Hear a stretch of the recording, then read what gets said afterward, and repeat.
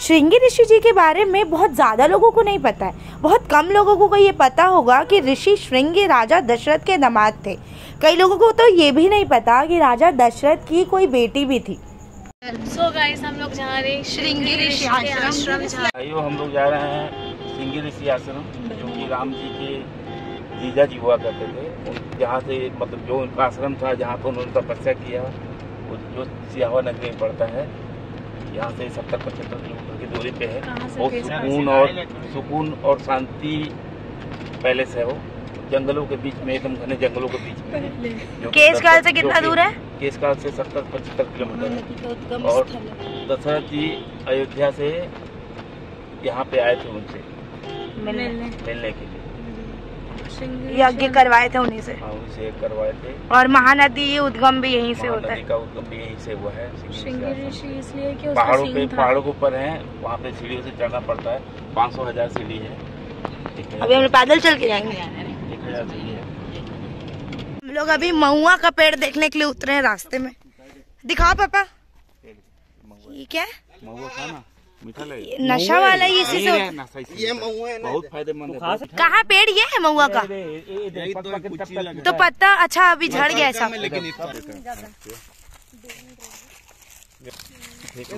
बाग वो कड़वा लगेगा वो आम का छिलका ही पूरा मोटा रहेगा। देखो तो इतना पहला फ़सल है ना ये? अभी विश्रामपुरी मड़ई का ये महुआ है जो देखिए महुआ का झाड़ है ये। यहाँ पे टपकता है सुबह सुबह तो ये हमारे यहाँ पे जो यहाँ के लोकल लोग हैं है ना यहाँ पे दाई लोग इसको बीन के फिर सुखाते हैं उसके बाद उसका महुआ का वो वाइन वाइन बनाते हैं दारू बनाते हैं है। ना। आज हम लोग आए हैं श्रृंगी ऋषि आश्रम में जहाँ पे श्रृंगी ऋषि जी ने समाधि ली थी। ये पड़ता है सिहावा में। आज हम यहाँ के दर्शन करेंगे। श्रृंगी ऋषि रामायण काल के जाने माने बेहद सिद्ध पुरुष थे। श्रृंगी ऋषि विम्भांडक ऋषि के पुत्र और कश्यप ऋषि के पौत्र थे। धार्मिक मान्यताओं के अनुसार राजा दशरथ और कौशल्या की एक पुत्री भी थी, जिनका नाम शांता था। जिन्हें कौशल्या की बहन वर्षिनी और उनके पति अंग देश के राजा रोमपद ने गोद लिया हुआ था। बाद में शांता का विवाह ऋषि श्रृंगी से कर दिया गया। इस तरह रिश्ते में श्रृंगी ऋषि जी राजा दशरथ के दामाद और प्रभु श्री राम के जीजा हुए। पापा चार सौ ही सीढ़ी है ज़्यादा नहीं है बोल रहे हाँ। ज़्यादा नहीं है ना। पापा आप हज़ार बोले थे चार सौ बोल रहे हैं। कितना आधा घंटे में पहुँच जाएँगे। बीस मिनट। आप तो तुरंत ही पहुँच जाओगे। कर सकते श्रृंगी ऋषि जी है ना? और ये ये माता है शांता देवी जी। ये सिंगरी सी जो वहाँ ना यही सिंह है ना अच्छा वो उनकी उनका सिंह है ना? सिंह है हाँ। इधर शांता के बाद राजा दशरथ की भी कोई संतान नहीं हुई थी। वह एक पुत्र चाहते थे जो उनके राजवंश को एक आगे बढ़ाए जिसके लिए उन्होंने अपने मंत्री सुमंत के कहने पर श्री श्रृंगी को पुत्र कामेष्टि यज्ञ करने के लिए बुलाया जिसके बाद ऋषि श्रृंगी ने अपने तप के प्रभाव से यह यज्ञ करवाया। हाँ पता ही नहीं था मेरे को। तेरे जैसे ना तेरे जैसे रंग बदलते रहती है। जैसे गुड़िया बदलती है।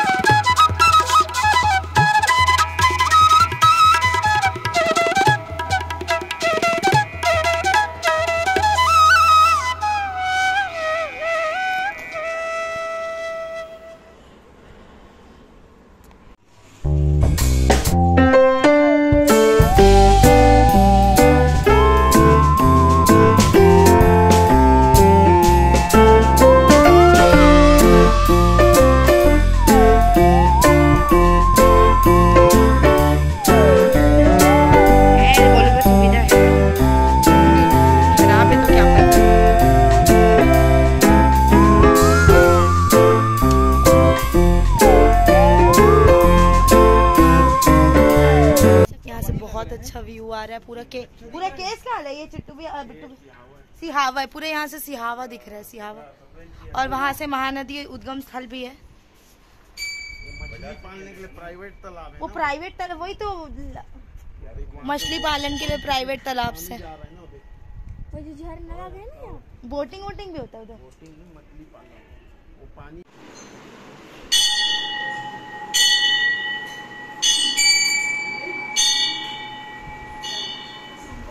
हम लोग अभी यहाँ पे ये यहाँ पे। ये उद्गम स्थल है हम लोग यहाँ पे। और शांता माता का उधर मंदिर है। कुंड में कुछ डाले भी ना और ना पानी निकाले वहाँ से। ये है। जय भोलेनाथ। तो ये अंदर ये अंदर होगा अंदर होगा ना रीसे का पानी वहाँ से। पूरा पानी विराट है। उद्गम स्थल। महानदी उद्गम स्थल।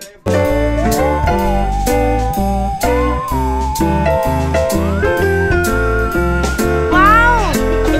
ये पेड़ अलग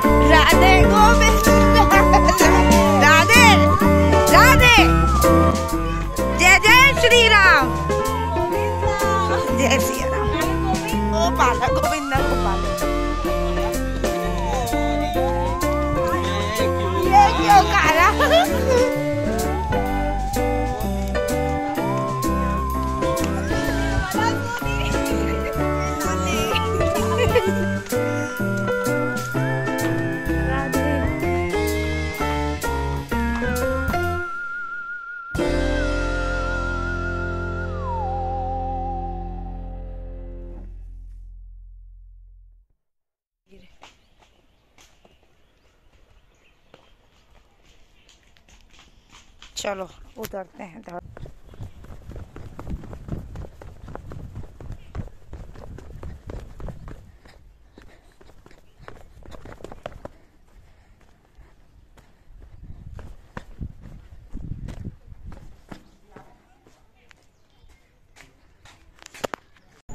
तो इसी के साथ हमारा बहुत अच्छे से दर्शन हो गया और हम लोग चलते हैं अब घर की ओर। आप लोग भी ज़रूर विज़िट कीजिएगा, ज़रूर एक बार दर्शन करने के लिए आइएगा। बहुत ही अच्छा लगता है, बहुत ही मन को शांति मिलती है और जब कोई नया हिस्टोरिक प्लेस आप लोग धार्मिक स्थल घूमते हो ना तो एक अलग ही वाइब होती है वहाँ की। सिहावा धमतरी डिस्ट्रिक्ट है, ज़रूर एक बार विज़िट कीजिएगा। मिलते हैं एक नई वीडियो के साथ, जहाँ पे हम लोग फिर से कुछ न्यू एक्सप्लोर करेंगे और आप लोगों के साथ शेयर ज़रूर करेंगे। Thanks for watching this video परिवार। Bye bye